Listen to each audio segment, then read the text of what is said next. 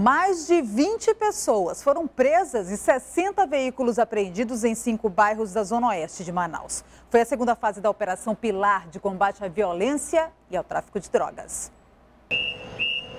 A operação foi deflagrada nas primeiras horas da manhã desta quarta-feira. Os bairros escolhidos foram Compensa, São Raimundo, Santo Antônio, São Jorge e Vila da Prata.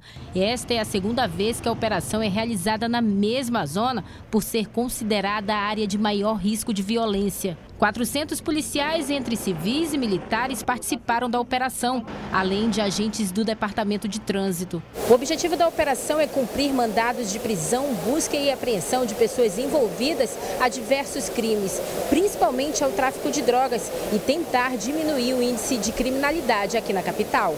Eu quero aqui destacar o trabalho da equipe da Polícia Civil, é, que iniciou esse trabalho, a Polícia Militar que continuou dando apoio, e em especial o Poder Judiciário, que sem, sem a colaboração dele nós não teríamos o sucesso. Durante a operação, a polícia apreendeu 25 quilos de drogas, entre maconha e cocaína, uma balança de precisão, além de munições e dinheiro. Ao todo, 23 pessoas foram presas, 10 em cumprimentos de mandados e 13 em flagrante por crimes de tráfico, associação para o tráfico, furto e roubo. Nós estamos na rua trabalhando diariamente para combater o crime e deixar a população do estado do Amazonas tranquila. Isso eu asseguro e na nossa missão será cumprida. Nas fiscalizações, o Detran recolheu 61 veículos com diversas irregularidades. Todos os presos foram encaminhados para o presídio da capital. Um dos suspeitos de roubar e matar o sargento de reserva da PM, Francisco Feitosa Gomes, foi preso. O crime foi no fim do mês passado, em Rio Preto da Eva, no interior do estado.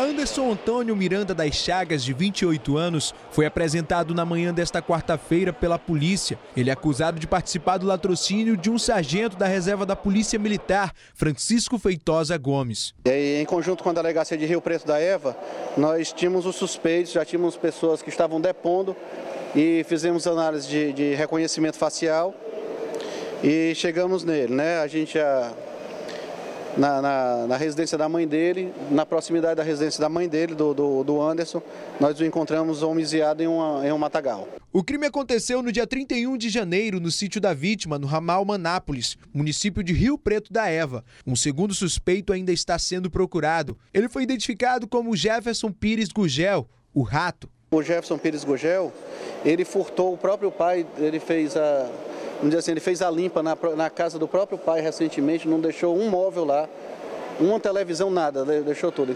Por isso que ele está estava mais por ramal, porque na cidade de Rio Preto da Eva já estava saturado para ele. Anderson foi indiciado por latrocínio e, após os procedimentos cabíveis, será encaminhado para o sistema prisional do Amazonas. Se você tiver alguma informação sobre o paradeiro de Jefferson Pires Gurgel, é só ligar para o Disque Denúncia. O número é o 181. E não se preocupe que sua identidade será mantida em sigilo. Um absurdo, né? No próximo bloco, o médico grava vídeo denunciando a falta de material durante cirurgia no Hospital Platão Araújo. A gente volta já.